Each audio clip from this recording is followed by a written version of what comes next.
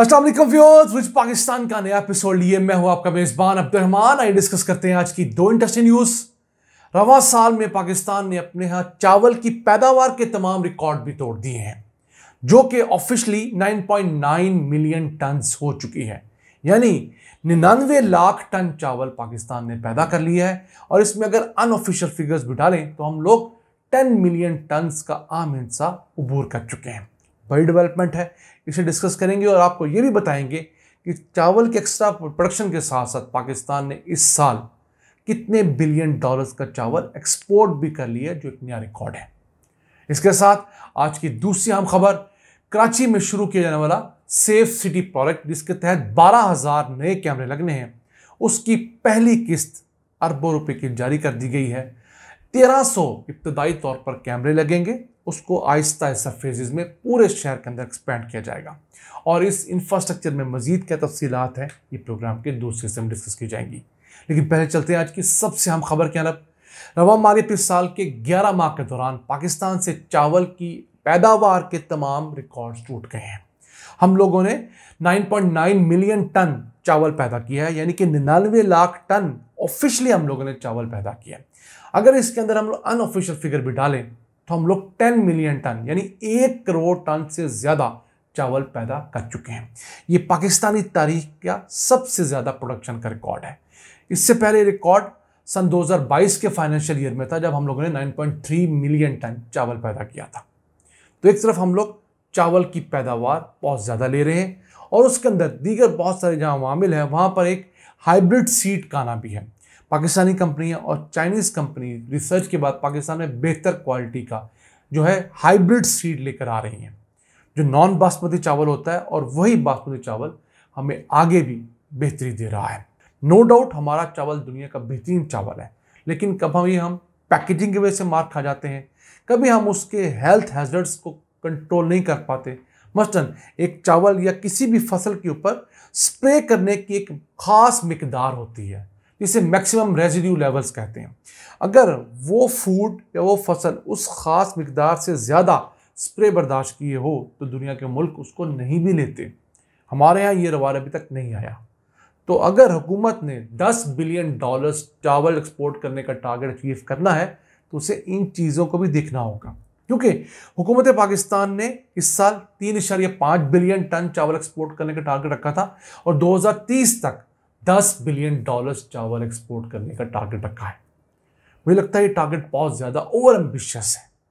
हमारे जैसे मुल्क के लिए, हमारे जैसे हालात के लिए फाइव बिलियन डॉलर्स तक चावल एक्सपोर्ट का टारगेट अच्छा है। ओके इंडिया जो है, जो तो दुनिया में सबसे बड़ा चावल एक्सपोर्टर है, उसकी चावल की एक्सपोर्ट नौ से साढ़े नौ बिलियन डॉलर्स होती है। तो हम कैसे दस बिलियन डॉलर सोच रहे हैं? हमसे छः गुना बड़े हैं। उनके यहाँ हमारे से ज़्यादा बारिशें होती हैं। और उनके यहाँ हमारे से ज़्यादा रकबा ज़्यादा है, बाकी चीज़ें ज़्यादा है। पाकिस्तान के अंदर एक चीज़ और की जा सकती है और की जानी चाहिए कि फ़ी एकड़ चावल की पैदावार बढ़ाने के लिए एक एकड़ के अंदर चावल के पौधों की तादाद को बढ़ाया जाए। अब माहरीन कहते हैं कि पाकिस्तान जैसे हालात में एक एकड़ के अंदर अस्सी हज़ार चावल के पौधे लगने चाहिए जब हम लोग प्लांटेशन करते हैं, जबकि औसतन साठ हज़ार लगते हैं, क्योंकि हाथ से लोग लगाते हैं तो हाथ से लगाने वाले जो पंजाब में लाबे कहलाते हैं, वो अक्सर सुस्ती कर जाते हैं। ये ह्यूमन इतनी परफेक्शन नहीं होती। तो अगर हम मैकेनिकल प्लांटर्स के ज़रिए, मशीनों के ज़रिए उसी एक एकड़ के अंदर पौधे लगाएँ तो अस्सी हज़ार से नब्बे हज़ार पौधे लग सकते हैं और पच्चीस फ़ीसद प्रोडक्शन में इजाफा हो सकता है। यानी आपने कोई नया पानी नहीं देना, कोई खाद नहीं देनी, कोई फर्टिलाइज़र कोई पेस्टिसाइड कोई मजदूरी एक्स्ट्रा देनी ही नहीं है। आपने सिर्फ़ उस एक एकड़ के प्लॉट के अंदर एक्स्ट्रा पौधे लगाने हैं बीस से पच्चीस हज़ार और उनका खालस मुनाफा आपको मिलेगा। सोचिए, किसान की अगर 25 परसेंट प्रोडक्शन बढ़ेगी तो ऑटोमेटिकली मार्केट के अंदर जब ज़्यादा पैदावार आएगी तो चावल की लागत कम होने की वजह से उसकी कीमत भी कम हो जाएगी। और चावल कोई सस्ती प्रोड्यूस नहीं है। एक किलो चावल पैदा करने के लिए 2000 लीटर से लेकर 5000 लीटर तक पानी खर्च होता है। और हमारे पास इतना ज़्यादा पानी नहीं है कि हम लोग 10 बिलियन डॉलर्स मालियत का चावल होगा उगाकर एक्सपोर्ट कर सकें। ये भी वो एक करख्त हकीकत है जो हमारे प्लानर्स को सोचनी चाहिए। आइए चलते हैं आज की दूसरी हम खबर की अरब। कराची, पाकिस्तान का सबसे बड़ा शहर, लेकिन सबसे ज़्यादा नामसायद हालात का शिकार वहाँ पर। कराची सेफ़ सिटी प्रोजेक्ट आठ साल पहले डिज़ाइन किया गया था। अब उसके पहले फ़ेज़ के लिए तीन अरब रुपए जारी कर दिए गए हैं एनआरटीसी पाकिस्तान का एक वफाकी इदारा जो कि सीसीटीवी कैमरे और ड्रोन वगैरह बनाते हैं। अब इब्तदाई तौर पर कराची के रेड जोन को कवर किया जाएगा, जिसके अंदर कराची के जो बड़े अहम इलाके हैं, east district, south district, Malir और कुरंगी के कुछ इलाके आएँगे, जहाँ पर फ़िलहाल हुकूमत की इंस्टॉलेशन है, हुकूमत की बिल्डिंग्स हैं, जो रेड जोन कहलाती हैं, जिसके अंदर गवर्नर हाउस है सी एम हाउस है और सूबाई हुकूमत की बिल्डिंग है। ऑब्वियसली उमरान हुक्मरानों ने अपने आप को तो पहले सिक्योर करना ना आवाम की बारी तो कहीं बाद में जाकर आएगी।